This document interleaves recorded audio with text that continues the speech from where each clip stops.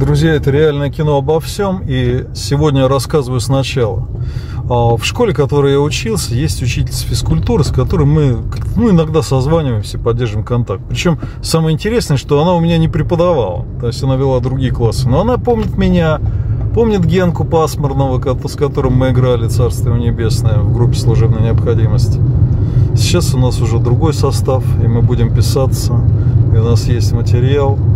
Вот, но это отдельный, отдельный разговор. 20 а, лет мы играли с ним. Она его помнит, а, сын его там учится. Вот она всех помнит, и она такая ходячая летопись школы. В хорошем смысле этого слова. И вот она говорит, ты представляешь, у нас такая ситуация, что у нас ничего нету. Нету мечей, нету гранат, вообще ничего нет учебных. Раньше, говорит, были депутаты, которые покупали. Она без всякой задней мысли, я более чем уверен, которые покупали. А сейчас, говорит, депутатов нет. Ну, в смысле, депутаты есть, только им не надо. Сейчас такая ситуация с депутатами, что им не надо пиариться. Их либо так выберут, либо и так не выберут. Они об этом знают, они даже не нанимают грамотных пиарщиков, им нафиг не надо. То есть они номинально существуют, номинально проходят. Вот. Я об этом тоже отдельное видео есть. Я рассказывал, как мне предлагали быть а, вот уже в эти годы выбрать одного из депутатов, и я отказался, потому что это трендец. Вот, ну, в общем, не помогают депутаты школе. Заразы такие. Шучу. Они не должны, по идее. Ну, в общем, короче, нет мечей, нет гранат. Он говорит, ну купи хотя бы несколько. Нет, она не говорит. Я говорю, давайте я куплю. Она говорит, ну как? Ну так, что, а что? Ну, поможем родной школе, мы все-таки в ней учились. Хотя у меня самые тяжелые воспоминания, на самом деле, о школе. Самые тяжелые. А, я считаю, что это был э, такой концлагерь, где над нами издевались. Но там были и хорошие учителя, которых я вспоминаю. Я говорю, вот гранаты нет, вот, ну можно я не буду покупать гранаты учебные? Я против того, чтобы люди кидали гранаты друг в друга. Хорошие, плохие. Если надо будет, они научатся, эти дети, кидать гранаты. Пусть они играют в мячи. Но много я не могу купить, потому что это очень дорого. Если брать совсем дешман, дешман то это все развалится. А если брать более-менее мячи, похожие на мячи, то это не маленькие суммы. Ну вот 12 мячей мы сегодня купили. Два футбольных и а, по 5 баскетбольных разных, там, для улицы и для зала, там, ну, в общем, разные. Какие она сказала, по тому размеру той фирмы, вот то я точно купил. И секундомер для школы.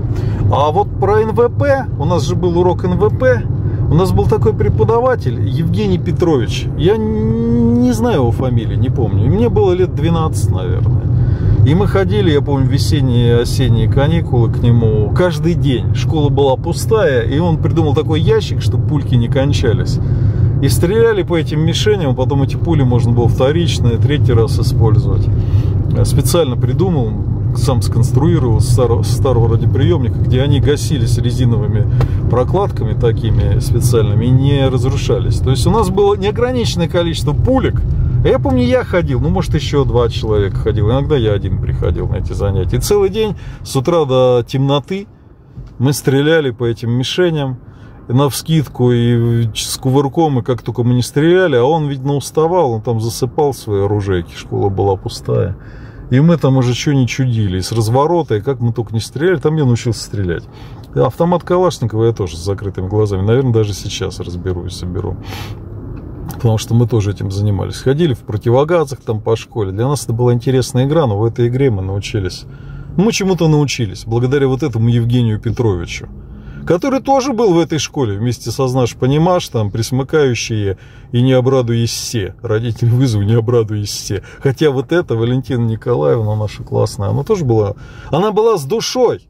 Она, может, не все слова правильно выговаривала, а она, может, что-то чудила там, но они были не бездушные, эти учителя, такие, как сейчас, которым все равно, в плане и отчете.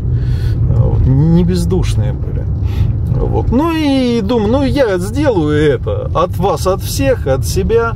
А, пусть дети играют в мячи, несмотря на то, что вот все вот так тяжело сейчас. Вот она школа. Что-то она не светится. А, светится немножко. Сейчас мы в нее зайдем. Пусть они играют в волейбол, в баскетбол, в футбол, А если еще понадобятся мячи, ну, может быть, мы вместе эту задачу осилим. Ну, а гранаты, уж пусть кто-нибудь другой учебные. Наверное, тоже надо их учиться кидать, чтобы защищать родину, но я не могу.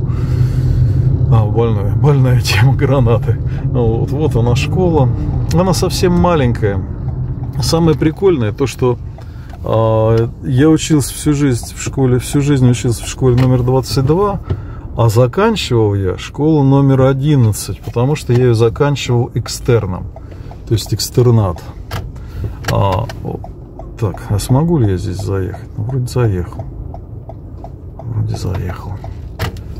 А, то есть я всю жизнь проучился в 22, а заканчивал 11 имени Пушкина, который вообще в центре города. А, так вот, такие метаморфозы жизни.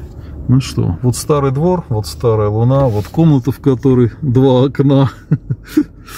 А, пошли в школу. Для нас всегда закрыта в школе дверь теперь. Еще там будет, наверное, сидеть злой охранник. А мы несем вот два чемодана. Не знаю, видно сейчас или нет, с мечами.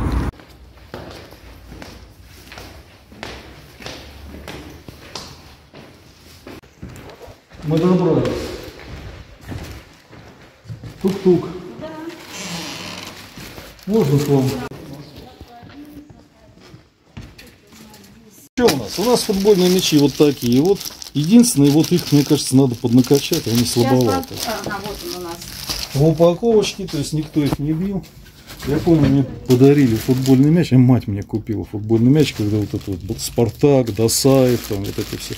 И я вот так берег этот мяч, но потом там камера испортилась. Ну, вот, Момент. Сейчас найти... мы сначала все выложим. Да. Значит, а баскетбольные вот такие вот. Да, совершенно видно. Торос. Ну, это, по крайней мере, лучший вариант. Все в перемешку. Из того, что есть. Да.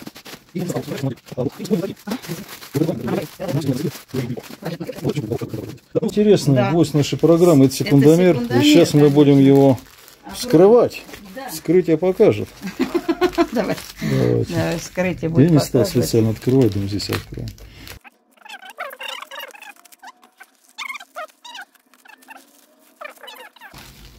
Ух и, ух и. Вау как скажут дети. Ничего, это красиво. Не, не мало красиво, но это же на... Ну, на руку-то его нет, его же так в руке носить Это просто, будет да? вот здесь. А, то есть это, на шее. Это да? на шее, это украшение шейное. Так, ага, здесь тоже еще надо будет открыть. Ну, мы можем этот э, момент оставить на потом. Главное, Но... посмотрели, как он выглядит, и порадовались. Да не то слово, Саша. Ну, конечно, надо будет его вскрывать еще. Ладно, это я... Вот... номер. А, фишка в том, что там 100, э, да, на 100, 100 ячеек. ячеек. да. Вот. И, ну, в классе 100 человек не бывает, не, но не оно бывает. лишним не будет. Ну, вот по крайней мере, да. Но он, по крайней мере, будет э, фиксировать... Вот 30 человек бежит, 30 человек будет. То есть он работает. Вот работает, вот работает, показывает. Ну, и, в общем, и я все. так думаю, что здесь русский язык, наверное, присутствует. Кроме китайского, да. Кроме китайского. Инструкция на русском ну языке. Все. Ну, мы сейчас какой-нибудь мяч, который вы выбьете, накачаем просто ради примера. Да. Бросим в кольцо. Маленький шнурек у нас немножко по... по... В общем, короче, игла. Вот. Делаем внутривенный укол. Мечу. До конца же ставите. Да. Так, все, погнали. О! Я чую, как он выпрямляется. Да. О, процесс пошел. Продолжить. Вот такой вот мячик у нас. Сейчас мы попробуем его кинуть.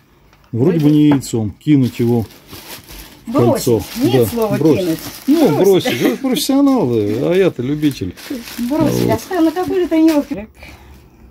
А вот футбольному мячу мы делаем внутривенное вливание.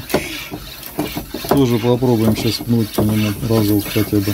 Ну, наверное, все. Даже жалко отдавать детям. Ну, сейчас. Правда, все. правда.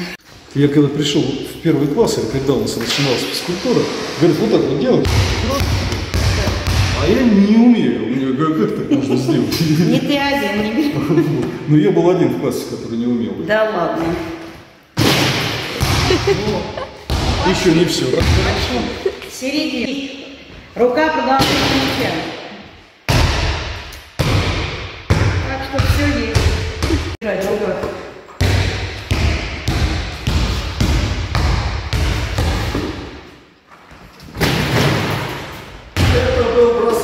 профессионала.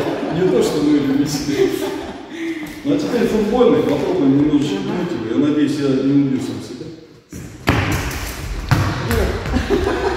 Саша, во! Но, в принципе, все хорошо. Да, это действительно хорошо.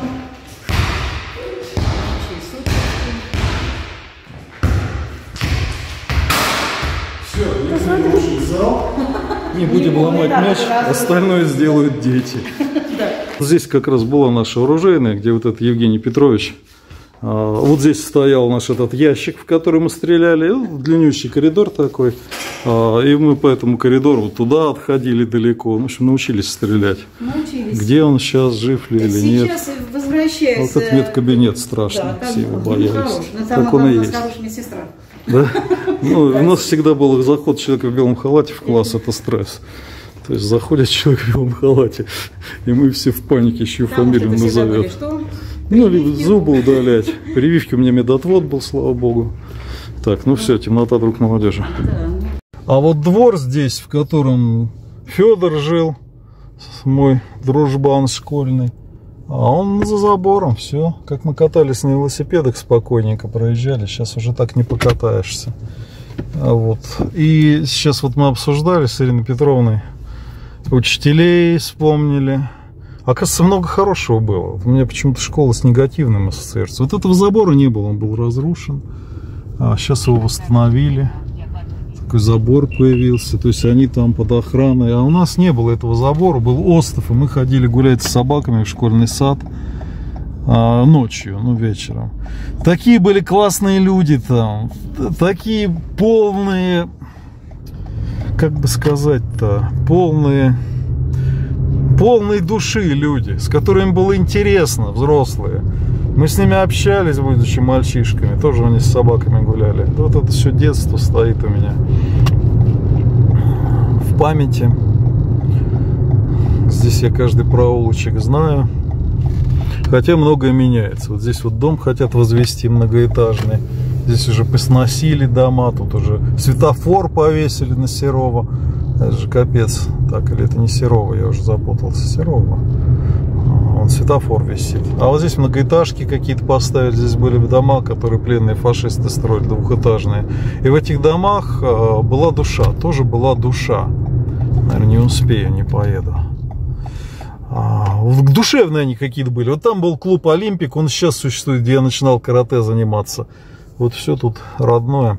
Так вот, хотел сказать, что вот в этих маленьких школах, в которых параллели два класса, где все друг друга знают, и ученики знают почти, ну, в лицо, по крайней мере, все друг друга знают, вся школа, мы знали. И учителя знают всех учеников. Нигде их там, вот сейчас Ирина Петровна рассказывала, там 2800 и там 280 учителей. Никто никого, естественно, не знает. Какой-то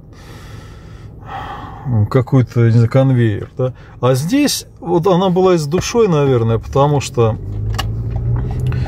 потому что все друг друга знали, потому что это было как-то мирно. А, Не скажу, что все люди были хорошие, прям такие офигенные, но ну что-то это дает, все равно какая-то семья, семья большая, вот как будто бы. 16-й магазин, в котором мы за сахаром в очереди стояли. А вон Олимпик, его видно сейчас, дома снесли. Вот он, клуб. Он и сейчас, видимо, действует и существует. Не знаю, сейчас в темноте, наверное, не видно. А двухэтажки все посносили, построили вот эти вот гробы. Ну а что, не будем старомодными. Как говорится, жизнь продолжается. Вот. Э, Благодарю вас всех, друзья, за то, что вы помогли мне сделать это добро. И впереди другие добрые дела, о которых я скажу позже. В частности, э, я думаю, что, может быть, на этой неделе мы съездим к церковной бабушке, которая молится. Я отвезу ей капли для глаз и расскажу про эти капли, про упражнения, как это помогает. Многие просили. Попробую, если успею на этой неделе. А, Далее, на Бусте, на моем закрытом клубе выйдет видео где я размышляю о том, пошел бы отец Николай, э, ой, вылетела фамилия, Гурьянов, и Серафим Саровский отказываться от биометрии. Они бы не пошли, но они были в другом социуме, они, у них не было кредитов, у них не было детей, а у них не было необходимости ездить на метро и так далее и тому подобное. Я размышляю об этом подробнее на, и о мнении экспертов по этому поводу, потому что многие боятся. Многие говорят, мы не сдавали биометрию, зачем нам идти ее забирать? Там я привожу пример, как люди, которые ее не сдавали, попадают в интересные обстоятельства. И когда нас спрашивают, даже для того, чтобы нас, грубо говоря, посчитать, да, то имеет смысл от этого отказаться. Но это чисто мое мнение. Я не буду убеждать кого-либо, как надо действовать. Я скажу за себя, что я это сделал и считаю, что я поступил правильно. А, друзья, всех вас благодарю за вашу помощь, за каждого, кто помогает каналу «Моя недостойная молитва», земной поклон и слова, которые сказал, говорит старец, за всех, кто помогает мне э, в этой ситуации и в этих делах. Все, что мы делаем с вами, увеличивает количество радости во Вселенной. Я в ближайшие дни еще сделаю ролик о том, а, что угол падения равен углу отражения, да? И настроение падения равно настроение отражения. Очень важно быть позитивным в жизни. Объясню почему. Не только потому, что Бог так сказал, а как это действует. Об этом подробнее на канале чуть позже. А еще раз всех благодарю, желаю мира и благополучия как можно скорее. Все обязательно будет хорошо. А, все наши испытания не навсегда. Всем добра.